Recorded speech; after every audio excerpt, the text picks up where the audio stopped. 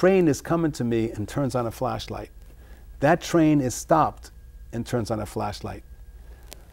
The light gets to me at the same speed. He says, that's a fact.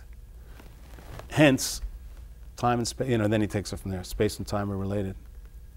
So, um, talk about the bad stuff. This seems like a good time to watch the Colosseum. The Colosseum? The Colosseum. Why? Is that full of bad stuff or something? I don't know. We'll have to watch. All right, all right.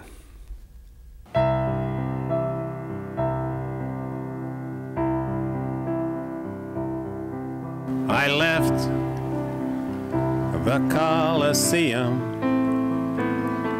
I just can't see it through. And before I start to weaken, I've got to talk to you. You see your little so calm and slow. I wish I'd learned that somewhere far from fury's blow. I bet to him it's obvious that a hand that hits can't hold and a mother's touch of tenderness is the planet's real gold. And I guess I'll be forgiven for trying so hard to please, like that hypocrite just driven past the multitude on its knees.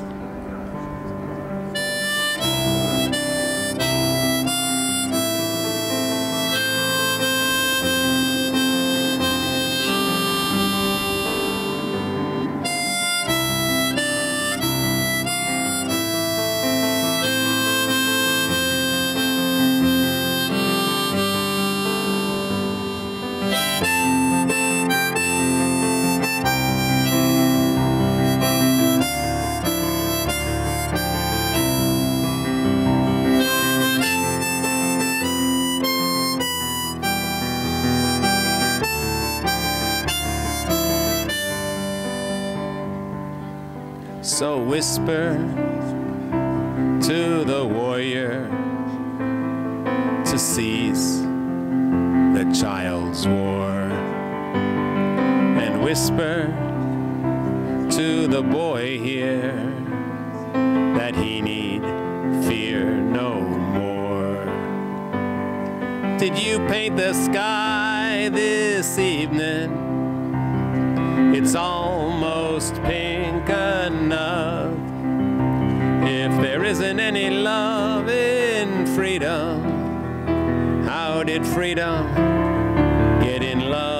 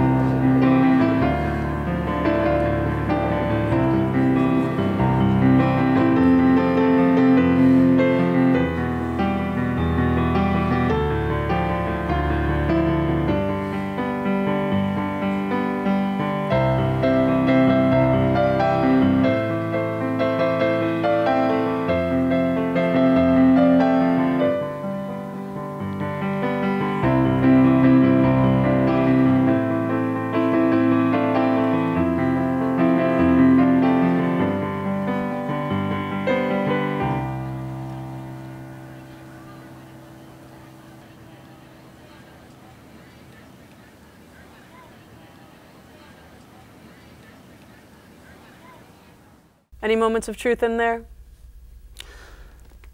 Okay. Yeah, the, the, the man, he says to her, I see your little boy there playing so calm and slow. I wish I'd learned that somewhere far from fury's blow. Um, and I bet to him, to the little boy, he says, it's obvious that a hand that hits can't hold, and a mother's touch of tenderness is the planet's real gold. So there's the man. It's, again, it's like a man child thing. The man is thinking, look at this little boy playing next to his loving mom, a gentle mom, a mother's with a mother's touch of tenderness, and playing calm and slow. So the child is calm and slow. And the man says, I wish I'd learned that somewhere, far from furious blow. Um, that's a moment of truth. That to me is like when Bob says, I put my fingers against the glass and bowed my head and cried. So sort of like, wait, I, I can't, or I would end your sorrows. What does he say? I forget. That's me, isn't it? But uh, when he says, um, your crack, uh, what does he say? Crack at your lips, I still wish to kiss, as to be by the strength of your skin. Your magnetic moments still capture the minutes of in. But it grieves my heart, love, to see you trying to be a part of a world that just don't exist.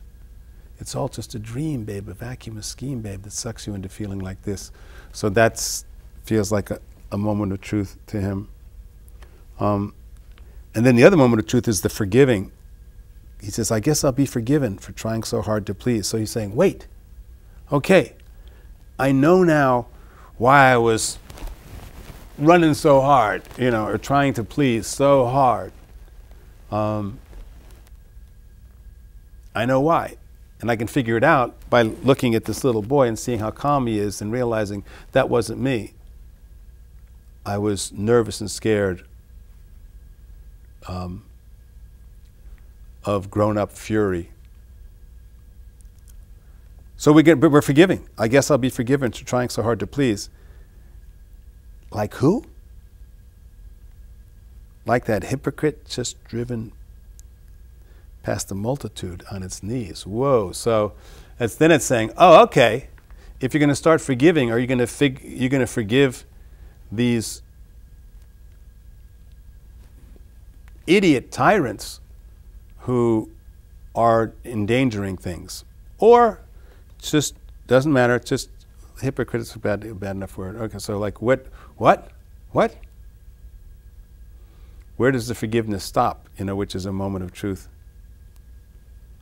Um, but then he takes the words to whisper to the warrior to cease the child's war. Whisper to the warrior to cease the child's war. What?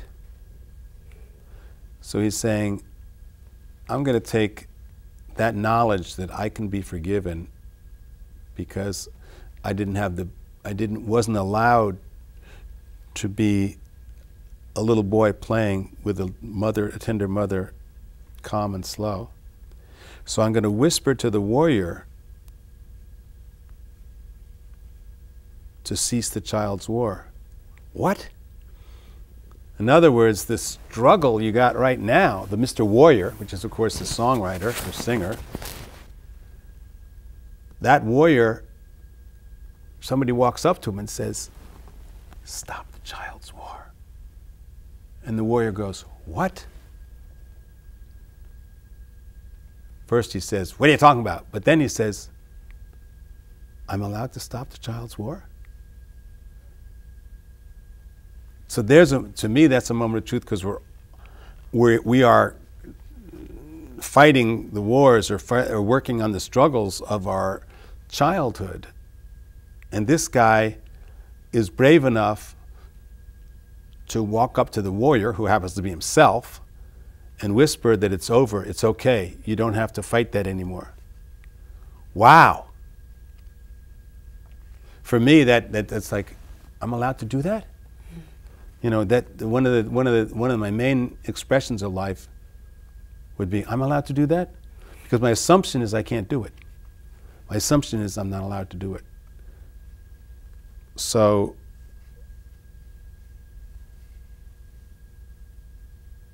that makes sense to me. Um, and then the last moment of truth comes from wait a minute. Now you, you're feeling good.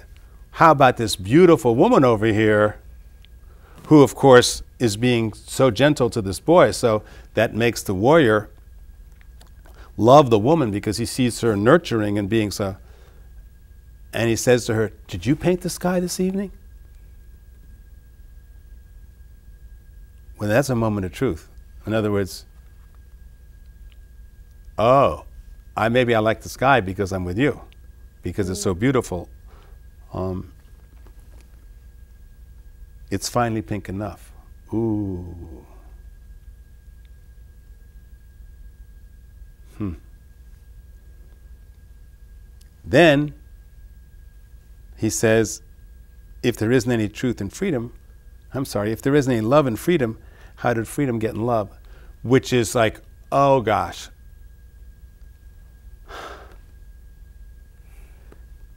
Is there love in freedom?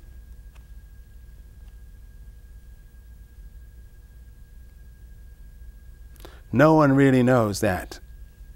There might not be any love and freedom if freedom means if if if if if, if it was if freedom is the opposite of commitment.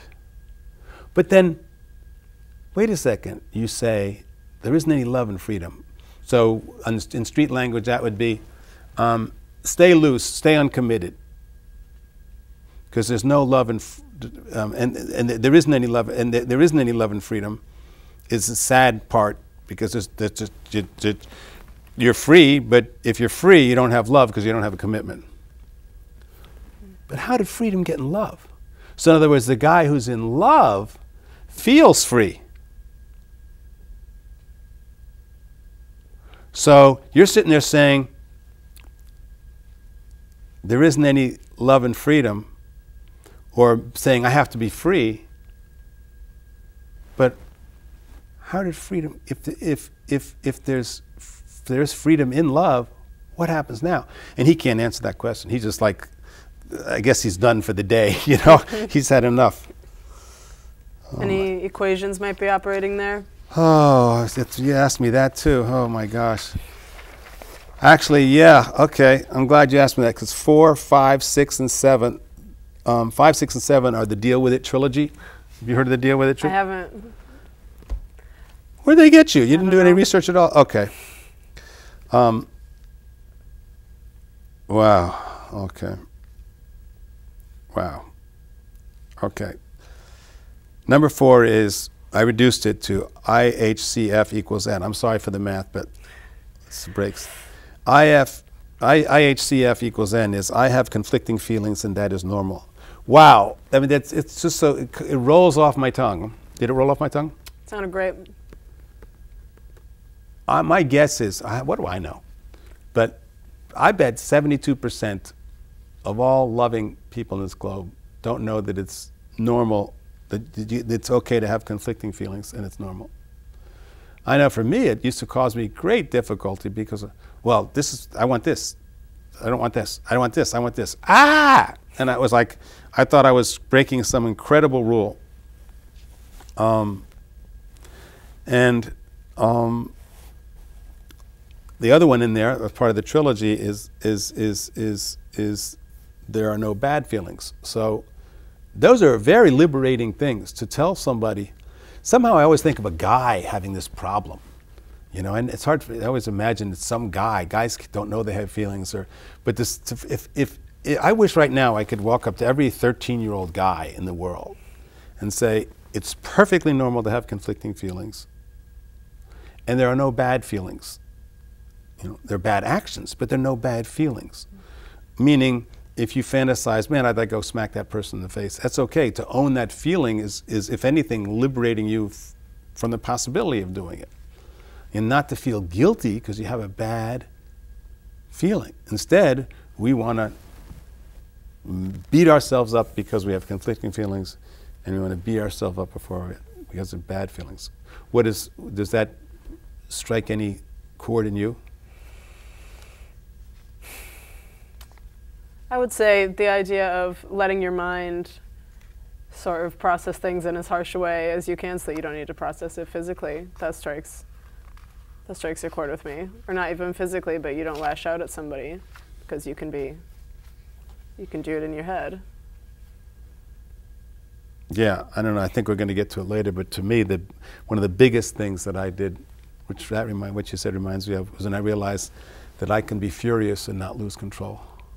What? I can be furious and not lose control? What? I can? I'll never forget the day I put that into action. I'll never forget. And I said, I'm furious. And nothing else happened. I didn't pick this up, I didn't throw it, I didn't kick. and I was like, wow. I can own being furious and not lose control. Anyway, I, um, yeah, the Deal with It trilogy. Um, wow. As I, somebody wrote here, the math here is very complicated. It, it is complicated. Um, here's the blame trilogy. I want to blame. I want to blame someone. I might as well blame you.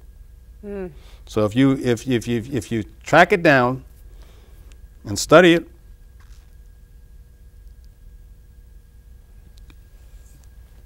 that's a real basic thing. I want to blame. And obviously, I want to blame someone. I might as well blame you. Better than me. That yeah, it comes out. I mean, that's that's sort of like that just sort of like flows from it. Um, the idea that depression is anger turned on oneself was very interesting for me. Helped me think. Wait a second. Maybe I'm unhappy because I'm mad at myself.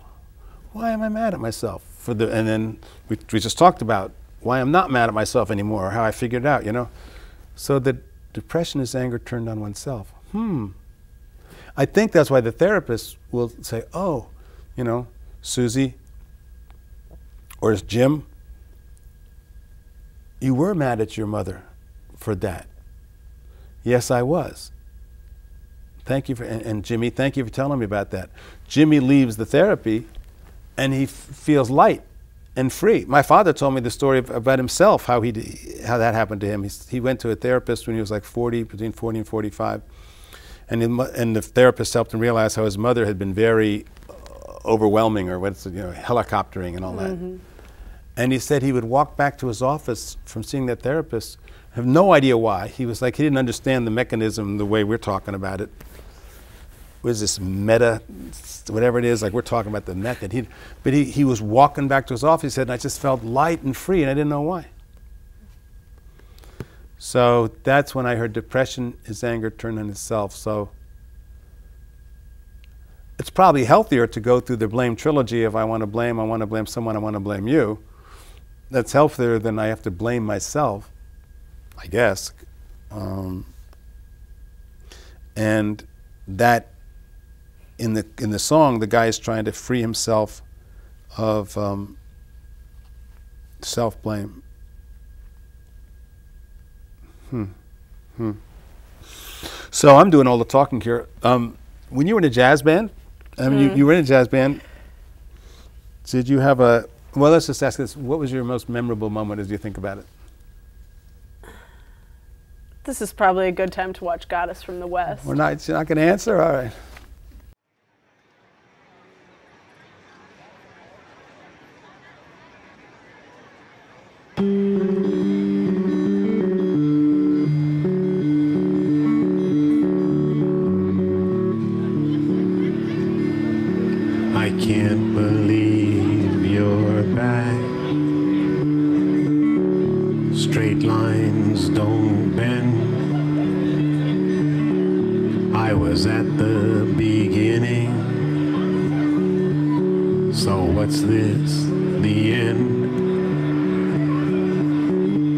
Legend of my time. Goddess from the west now appear in life on another quest.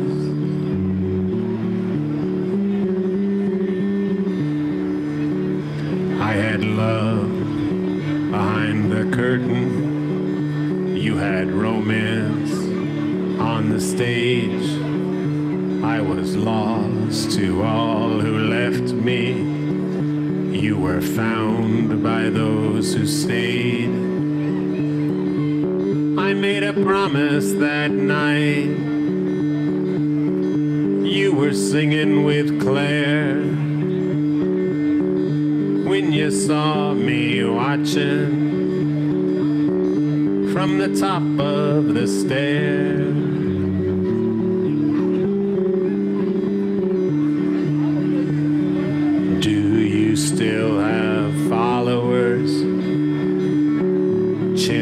Out your name? I just need bread and water and someone to blame. Why didn't I major in history? Do you think I could still give up all pretension? Get my license to kill?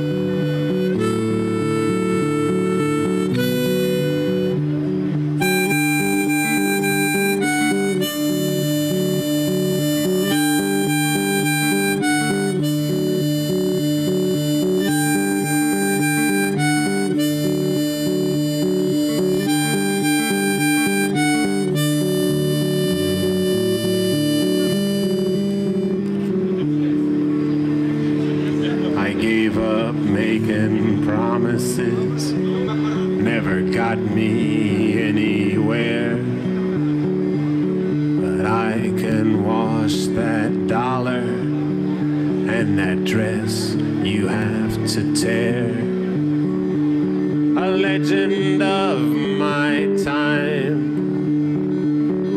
goddess from the west now appearing live on another quest.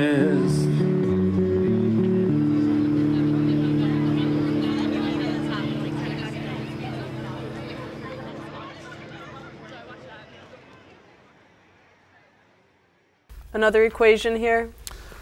Oh boy, you know there are. Uh, this I actually feel very guilty about this song, blaming myself because I told her in this song that um, I just need bread and water and someone to blame, and she's the one actually that, that told me that there's a whole psychologist, more maybe more than one, that the need to blame, and that's why I was stealing it from the Blame trilogy, is like a basic human need. Interesting. Um, and she's the one that pointed that out to me. She was very smart, the goddess from the West. Um, but I feel guilty because I put it in my own mouth. I say, uh, I only need bread and water and someone to blame. Um, so I guess I can credit her that right now. Another equation at work here. Uh, um, yes. Um, one of the Einstein-Stephen equations, Stephen's equations, is I think I did something wrong, but it's too scary to think about. Ever felt that way? Mm-hmm. And that's what, can I go back and change my life? And this says, she says, you know, why didn't I major in, in um, history? Do you think I could still give up all pretension, get my license to kill? Um,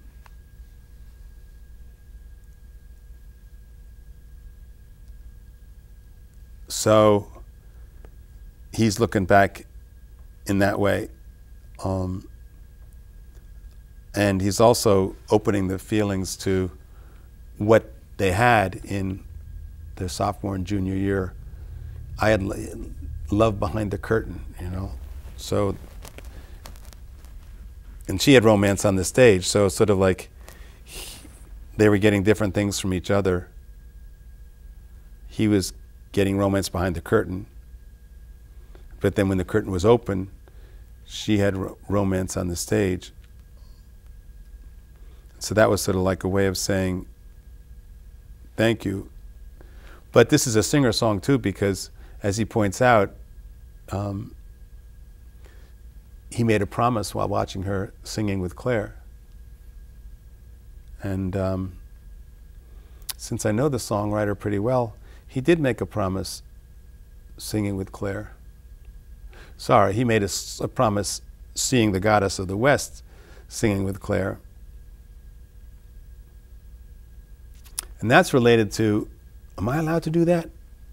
Um, because here was a woman, a young woman, confident enough to sing in the, in in the stairwell and harmonize with Claire and inspire this guy who had this feeling, I'm not allowed to do that. Hmm. And that's when he says, I, made a promise that night. Um, but then at the end, he says, I gave up making promises, never got me anywhere. So he's like, wait a minute. The promises I made didn't really fulfill. I didn't get the fantasy I thought, you know, which was true for me. And I had to, you know, process that of being a songwriter, writing 84 songs, in a sense, for myself. You know, I didn't, I did, I thought I had that promoter gene, but I was too busy writing them, you know. But but I was annoyed that I didn't, um, that I wasn't singing in the stairwell with Claire, like she had been. Meaning, I was annoyed that I wasn't getting recognition.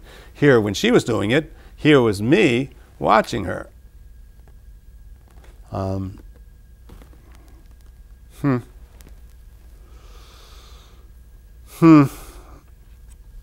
Interesting. And then, it, then the idea of how could I be back with her, when it says, right from the beginning, um, straight lines don't bend. In other words, how could my story be inter, inter, interlapping with yours again? It's interesting. I, I uh, she came into where I worked just a mere 30 years later. And I remember asking the, uh, there were young people working for me, and I introduced them to the goddess. and I said, which one of them particular? I said, who's luckier, you know? That we have, we've had that, whatever that 35 years has passed, that we've lived in our life, or you have them ahead of you. You know, sort of like, who's the luckier guy? The guy that just got off the Ferris wheel, or the guy that's just about to get on? And the answer is, Whatever you want it to be. ah, come on. Uh, I like anticipation personally. Well, there's a book, um, Zen and the Art of Motorcycle Maintenance, which was the saddest book, but he had a thing about being next. Being next. And I think about that a lot. If I'm looking forward to doing something, that's is that better? Well, you just said, in, yeah, You can't be let down when you're looking forward to something. You can be let down when something happens. Maybe that's pessimistic. Yeah, I don't know. I guess we can't answer that.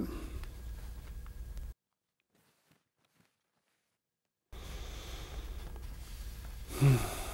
then with her, you know, he says, I gave up making promises, never got me anywhere, but I can wash that dollar and that dress you have to tear. So he's, he's kind of hard on the goddess. You know, like, why does the goddess need somebody to wash her dollar? Did, you know, that's kind of mean in a way. You know, what did she do that?